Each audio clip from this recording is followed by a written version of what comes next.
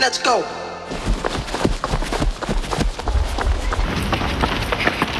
文京区小日向にある大日坂。この坂もまた実に走りたくなる坂である。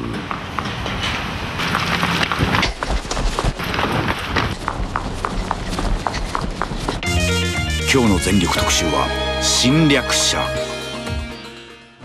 南アフリカヨハネスブルグ上空に正体不明の宇宙船が現れた。人間たちは神秘的な出会いを求めていたのだがそこにいたのは闇の奥から聞こえるうめき声。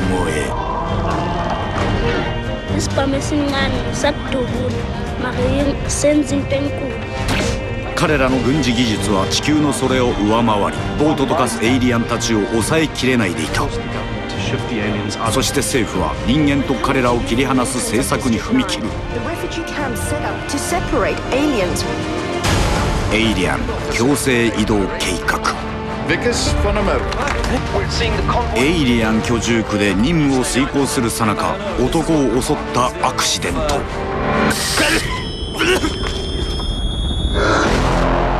果たしてエイリアンの目的は侵略なのかそれとも。